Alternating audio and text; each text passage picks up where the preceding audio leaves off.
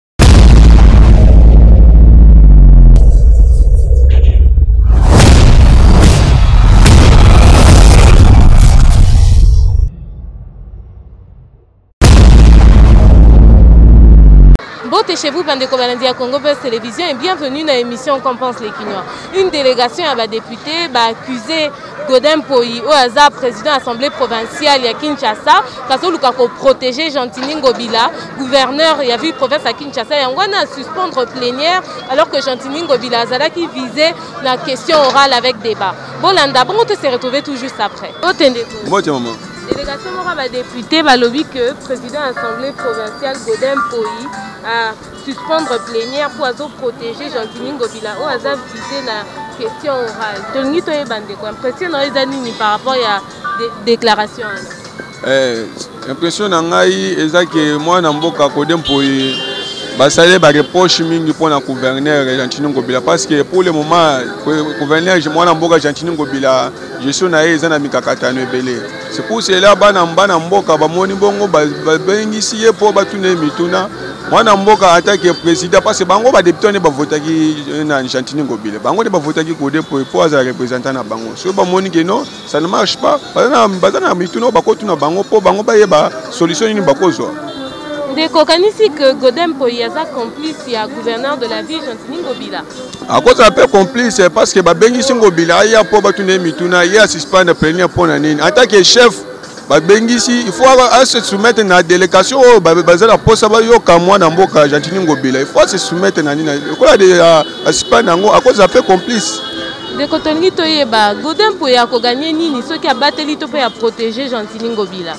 mais oyo oyebi ke na politique ezalaka jeu d'intérêt azomona ke kote mwana mboka jatini ngobila koza azwaka mwa gateau na ye sikoyo bino bolingi bokase gateau na ye wana c'est pour cela il faut protéger gateau na ye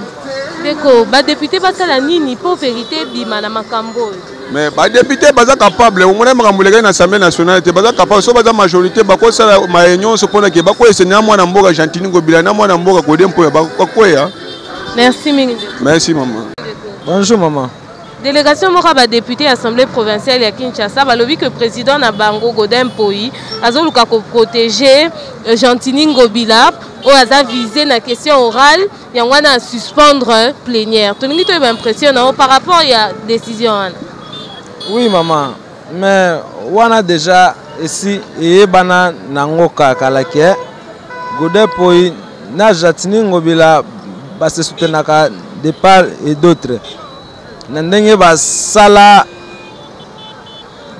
ekiri na bango wana les amis de Jatini Ngobila ba, ba député ba, bazalaka plus de trentaine yango wana tomona ngobila tya bango na kati ya, ya, ya poche na ye effectivement la question wana ne, ne pouvait pas passer yango wana akasaki yango ndeko tolingi toyeba bokanisi ke godin mpoi aza complice ya gentini ngobila na makambo nyonso ezokolekana awa na kinshasa effectivement bango nyonso tu baza ba oiseau de même plumage bango nyonso to ezala jatilingo bile ezala godin poy baza kaka bato moko ndeko tolingi toyeba godin mpoyi akozwa nini soki aprotege euh, gentini ngobila akozwa nini c'est trop, trop dit mais eza ba, ba accord oyo bango basignaka na jatini ngobila jatini ngobila akomaki gouverneur ndenge nini parce que to, to, to, tomoni degre ya corruption esalamamaki ntina niveau ya élection ba udps bazalaki na ba 12 de député mais candidat na bango laura batumona abima kaka na 3 voix bavoix nyonso ekenda chez chez ngobila donc ba baza prêt ya ko corrompre ya kosala nyonso si sur base ya, ya ba accord na, na, na bango wana ba ba, ba signa ndeko tolingi toyeba esengeli badepute basala nini mpo ke verité ebima na kati ya makambo oyo mpo na biso tosengi nano liboso badepute bas attaquer na na na na no liboso na Godet Boy bakwesa ye parce que eh, si la attaque Godet Boy azaka kaka wana ba, ba démarche nyonso oyo bakoinitie mpo bakwesa ngobila ekobanda eko kosimba kaka te bakobanda kaka kokase yango koaporte koavase bareseau moko ya lokuta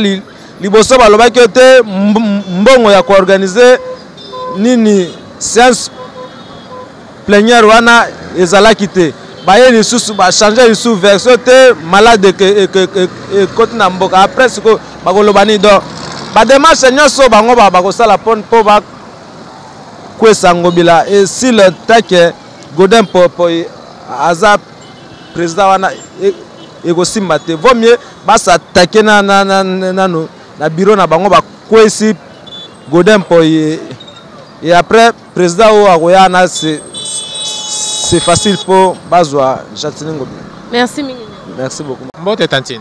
Delegation moko ya ba depute provincial ya Kinshasa balobi que président ya assemblée provinciale ya Kinshasa Godin Mpoyi azoluka ko protéger Gentini Ngobila oyo aza visé na question orale yango wana suspendre séance plénière. Tolingi toyeba impression na par rapport ya révélation wana. Mais c'est sûr d'ailleurs c'est visible bino mo bomoni awa ye akozwa décision keno akanga assemblée provinciale mpona maladi mais assemblée provinciale eleki assemblée nationale te eleki sénat te de chambre yango wana ezo fonctionner gouvernement yango wana ezo fonctionner presque ba ba activité ebele ya mboka ezo fonctionner sauf que non tozo respecter kaka ba geste barrière oyo mokonzi ya mboka auti oloba awa sikoyo kode mpoi mpo na ngai banani ebandeli na bando obengaki kaka porte parole ya ngobila ye aza aza président ya assemblée provinciale se aza aza motu oyo aza sense kolandela ngobila na makambo tu baaktivité nyonso ngobila osala na kinshasa awa Mais Gode Mpoyi asalaka yango te en aucune fois atikala ko convoquer ata ngobila te atikala ata ko reprocher na mabe moko te yango lelo omoni ke no lokola se transformaki na nini na porte parole ya ngobila aye komona ke no awa bakomi okweyisa sikoyo baoba na ye nde omoni aye kozwa mesure wana oyo nazokanga nazo akokanga yango sur base ya nini assemblée provinciale ngango namonaka importance na yango te naloba babidio batiaka na baassemblée provinciale wana mpo bakanga baassemblée provinciale mpo esalaka mosala mpe te ndeko tolingi toyeba okanisi ke godin mpoi aza complice ya gentini ngobila na makambo nyonso ezolekana na ville ya kinshasa sur et certain à chaque fois qu'il passe dans des médias ye adefendaka kaka ngobila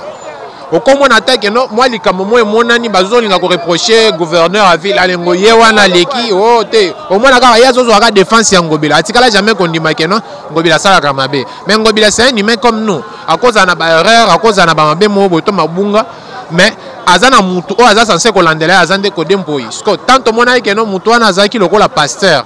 pasteur mambo aosala sur terrain ateyaka bato na église mais sur terrain aosala nini oyo ezolakisa sikoyo nini visibilité na ye sur terrain eza nini ase transformaki na nini na porte parole ya ngobila yango nde omoni lelo oyo azwi sikoyo koprotege sikoyo ngobila na masumu to mabe nyonso oyo ngobila asali motu nyonso aza sanse koleka na justice so balobi keno ngobila aleka na justice mpo na likambo tel eza mabe te aleka soki aza innocent aprouve innocence na ye kuna esili azongi na ye mais ekoma te keno motu moko boye azobima mpo na koloba keno te tovanda nanu mosio wana tozela nango siko azela yango ti mokolo nini akokanga ensemble wana ti mokolo nini kasi ndeko dode mpo ya koganie nini soki aprotege to mpe abateli gentini ngobila Ah, oyo aoganye nsima nini mais eza quelque part bamakambo oyo ngobila aosala na baintérêt ngobila aozwa temaki aoprotege baokabolaka na ye te mpo awa natikala omona na congo te bakangi moto adetourne ata mbongo ke ye moko omona kaka keno azalaki na motu te nsima na ye ale baye kokende sikoyo bango nyonso elongo peut-être nzambe aye kosunga biso na minite oyo na mwa mm, bamakambo oyo changement ekoti nde tomoni sikoyo bamolandela bato tozomona ke bato nde basalaki mabunga bato nde basali boye ye mpe akoprotege soki ye mpe aza nsima mabe oyo ngobila osala wana baopartage na ye akoprotege kaka mpo kokwea ngobila ye mpe akokwea ndeko okanisi ke badepute esengeli basala nini mpo ke baétablir vérité na makambo bakweyisa mpe kode mpoiti omoni awa toza na demokrasi naoyeba mpe demokrasi na biso eza soki ndenge nini Tant toza la démocratie et qu'il y a une personne qui sort pona ko sala likambo oyo ezo toufe bato ebele. Mais boza censé ko sala keno ah lokola ya sali bale bozui bureau d'âge eza pe na assemblée provinciale bakomi misa pe président bureau d'âge basali ba installer bureau ya sika pona ko sala nini pona ko sala la mboka ya ke vanda po nini est-ce que na église na ye ye tango akangi akangi assemblée provinciale est-ce que a suspendre pe nini ba ba culte ya oyo asalaka na église na ye est-ce que a suspendre pe église na ye azosala na église na église azotondisa bato ebele koleka na assemblée provinciale comment azocontinue kosala na église tanke azokanga assemblée provinciale c'est-à-dire ya quelque chose caché derrière tout ça il faut sikoyo bato oyo badepute badepute baza baélu du peuple baza baélu ya kode mpo ete yango obila te baza bato oyo peuple apesi bango voi mpo akende kolobela bango sikoyo lelo so omoni ke non oyo mpoyo asali eza mabe ezosepelisa bango te ok bakende bavanda bakotisa na nko ale basala nini babimisa bureau d'age comme ça bameka koinstalle bureau ya sika mpona kosala mpona province ya ville euh, province ya kinshasa tala nanu nde province ekomi merci mingi merci tanti mbote mama délégation moko ya badepute ya assemblée provinciale ya kinshasa balobi que président na bango godin mpoyi azoluka ko protéger Gentini Ngobila oyo aza visé na question orale yango wana a suspendre plénière sous prétexte que malade eza na mboka tolingi toyeba impression na yo par rapport ya révélation wana mama makambo wana ezokamwisa biso makasi makambo wana ezokamwisa biso makasi bato wana bazoprotege ka bato ya mabe bazoprotege ka bato ya mabe toyebi te soki biso tokokoma nani akolobela biso lisusu makambo wana eza kaka oyo asali mabe oyo aye kokotela ye oyo asali mabe oyo eh, tozo comprendre soki tokosuka wapi bakonzi bango moko nde bakolobela peuple bango moko me bazokotisa confusion na makambo ka ya nyamu nyamu nyamu nyamu yango wana biso tozosenga kaka mokonzi ya mboka fatia lokola justice eza na mboka oyo alandela makambo wana tii na suka merci ndeko tolingi toyeba est ce que gode mpoi aza complice ya gentini ngobila na makambo nyonso ezolekama na ville province ya kinshasa mama eza na moto moko te aza likolo ya mibeko na mboka oyo gode mpoi aza likolo ya mibeko te jane mabunda azalaki awa jane mabunda kolongwa te ye wana alongwa te gode mpoi aza likolo ya mibeko te ye mpe akozwa mokano na ye toza awa akozwa mokano na ye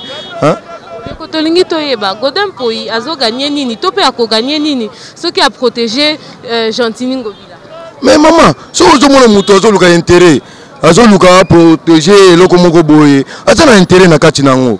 yokanisi aza na intérêt aza na intérêt na kati na yango aza na intérêt na kati na yango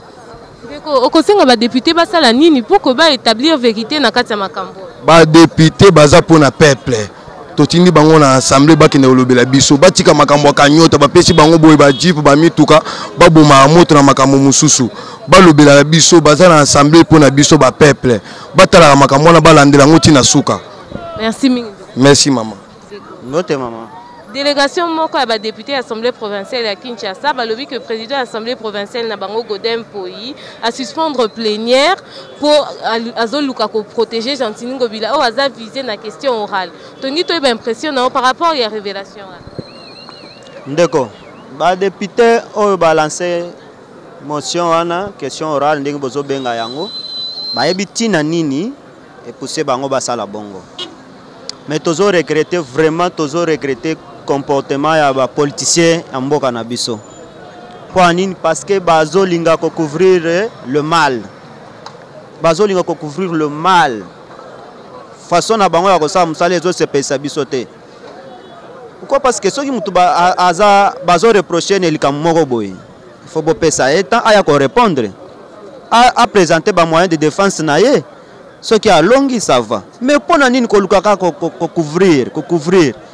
do bapolitisien baosalisa biso mosala moko mpenza oyo eza malamu te do biso peuple tosepela te na comportement wana il faut barépondre na baacte na bango eza mpenza malamu te eloko wana ndeko tolingi toyeba est ce que godin mpoi aza complice ya gentini ngobila na makambo nyonso ezolekana na ville province ya kinshasa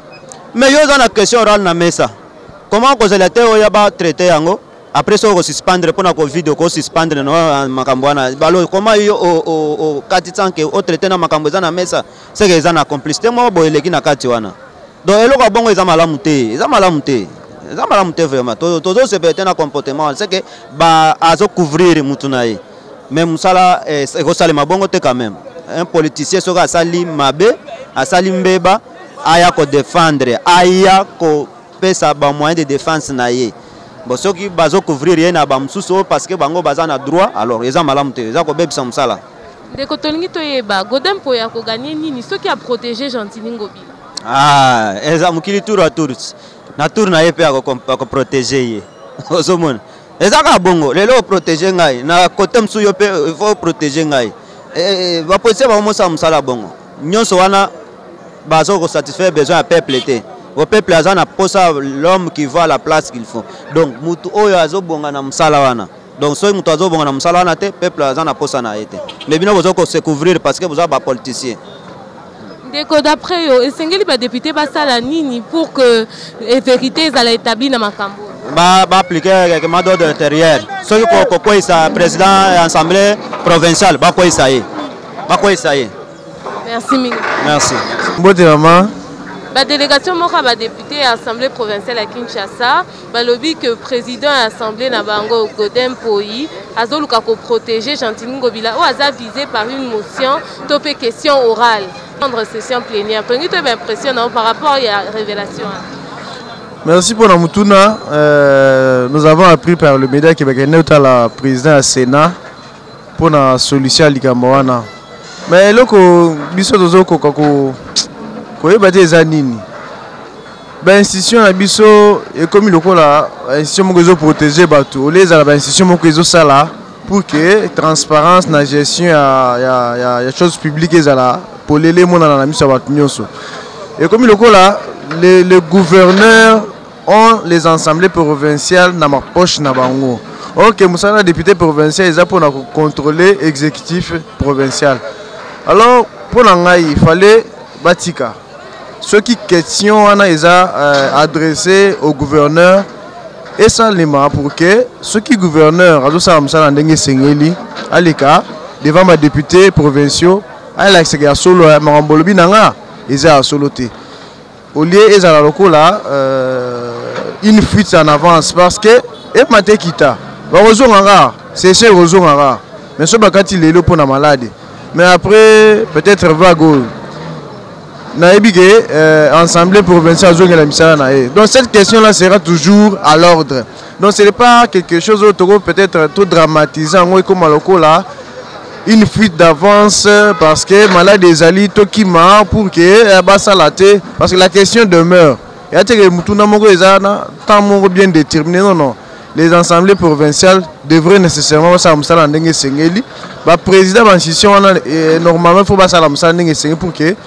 la population se retrouve na makambo bazosala ndeko tolingi toyeba est ce que godin mpoi aza complice ya gentini ngobila na makambo nyonso ezolekama awa na ville ya kinshasa je pense ke eloko nyonso eza na ebandeli na suka tomoni na baprovince mosusu les gouverneurs qui ont été déchus des bureaux qui ont été euh, destitués donc si c'est le cas avec l'assemblée provinciale ya kinshasa tôt ou tard eloko wana ebima libanda Ce qui est, le euh, euh, euh, président de l'Assemblée provinciale a protégé le gouverneur. Je pense que cela a une limite. Parce qu'il faut protéger jusqu'à quand faut protéger Tiwapi. Mais ce que je sache, c'est que euh, Godin c'est un, pasteur. Et en tant que pasteur, il devrait à ça, il a, ce qu'on appelle être au milieu du village. Parce que les hommes de Dieu doivent être au milieu du village pour relier ba oyo ya ngambo oyo na oyo ya ngambo mosusu c'est ce que devrait faire nécessairement le pasteur Godin pour en tant que pasteur en tant que aussi président ya organe délibérante ya province ya Kinshasa ndeko tolingi toyeba Godin Mpoyo akoganie nini soki aprotéger Gentini Ngoi je pense que kogagner c'est tout à euh, eza, eza un peu dur mais au contraire image dina opesa soki azo protéger eloko oyo peut-être bato bamoni ke non eza bien te ou bien azo protéger moto bamoni ke azosala mosala bien te soki euh, azwi ase retrouve na dynamique ya koprotéger c'est un peu un peu dur le, le meilleur affaire pour lui eza kovandisa bato nyonso esika moko lui en tant que président assemblée provinciale réunir et l'exécutif et le législatif pour que mosala esalema malamu pour que la ville province ya kinshasa ezala bénéficiaire ya mosala oyo bango bazosala ezala gouverneur ezala ba députés provinciaux ndeko tolingi toyeba esengeli ba députés basala nini pour que vérité ezala établie na kati ya makambo les députés devraient normalement euh, basala mosala na bango travailler dans la sérénité, travailler dans la transparence, dans l'amour de la patrie, dans l'amour de la province pour que le peuple qui les a mandatés va se retrouver dans Moussalo Bangozo Sala. L'essentiel, ce n'est pas de chercher les boucs émissaires, l'essentiel, ce n'est pas de chercher ba motion oyo oyo bazobenga alimentaire non non l'essentiel c'est travailler pour que l'intérêt du peuple soit primordial l'intérêt du peuple est primé na baintérêt ya baindividu ezala te ke tozosala boye pour ke bapesa biso boye bapesa biso badi bapesa biso mbongo bapesa biso boye non non Bassalam Sala pour que la province pour que la province puisse avancer. Nous voulons maintenant un pays où chaque personne joue son rôle, chaque individu joue sa partition pour que la nation demain puisse être une nation forte, une nation où dans chaque province, y a tout moko et ça la Congo et Bonga, l'hôpital Merci. Merci vraiment. maman. Delegation moko ya ba depute ya assemblée provinciale ya Kinshasa balobi que président ya assemblée na bango Godem Mpoyi azoluka ko protéger Gentini Ngobila oyo aza visé na une question orale yango wana a suspendre plénière sous prétexte que maladie eza na mboka tolingi toyeba impression na yo par rapport ya révélation wana bon na tant que maladie eza na mboka ekopekisa te Euh, mosala ya ba institution ya l'etat il y a des conférences télévision na ba conférence oyo bakosala ya kete mosala esalema député tozala na bango sur lisusu te parce que ce n'est pas la première c'est du deux ou troisième fois ou bainitie ba bainitiative ba, ba, ba, ba ya bongo mpona ko questionner gentini ngobila na esimbaka te il y a toujours de haut et de bas alors baza badepute provincial mais baza na baintérêt commun oyo basalela basalela pas surtout mpo na population mais mpo na bango moko so oyoki baleve baoption ya bongo je crois que il faut euh, il paraît que bakozala na posa ya mbongo bapesa bango bambongo komisa mpo bavanda kimia mpo eza première fois te eza mpe na makambo ya ebele ya mabe oyo ezolekama na ville ya kinshasa oyo ezosenga intervention directe ya badepute mais basalaka yango te so basali après un certain moment oyoki etikali ekwei kadiki donc réaction moko esalema te nini te ezosalema kodempoi aza President na bango eza la première fois te plusieurs fois basalaka bayinisaki mpe bamotion contre code mpo esimbaki mpe te toyebi te ndenge nini bamemeli yango kaka bango badepute wana nde bavote contre lisusu alors batika komema biso na mouvement ya mosika mosika mpo toza mpe bato toza na batango ya mpasi toza na bampasi tomona bango nde bazovivre bien mais biso tozovivre na bango ndenge moko te alors batika koambrie ou bien kobebisa morale na biso ndeko tolingi toyeba est ce que godin mpoi aza complice ya gentini ngobila na makambo ezolekamana na ville province ya kinshasa bon tokoloba godin mpoi aza président ya institution gentini ngobila aza président ya gouvernement provincial je dis alors il y a des séparations de pouvoir ya iza séparation de pouvoir tokopesa kode mpoi banotion te kode mpoi aza motu monene na mboka oyo aprofesseur ayebi ndenge nini ya kodirige institution alors so omoni ajuge bon parce que ye nde aza na liloba na assemblée provinciale alors so omoni bon nde akopesa badepute balandaka initiative na ye covid ekosila ou bien ba mesure oyo président apesi ekozala eza mpona un certain temps balobi mpona 15 jours comme ça soit 15 jours esili soit balongoli yango soit bacontinue bakoyeba ndenge nini ya koengage bareunion na banini mpo bayokana basolola bapesa biso kima ndeko tolingi toyeba Godin Mpoyi akoganie nini soki a protéger Gentini Ngobi na ndenge ba députés bazofunda ye? Bon, oyebi soki démarche ya ba députés ezala démarche moko ya normal mpe emona souci ya population j'espère que Godin Mpoyi alingaka appuyer bango tellement que asi amoni que eza mwa jeu moko ya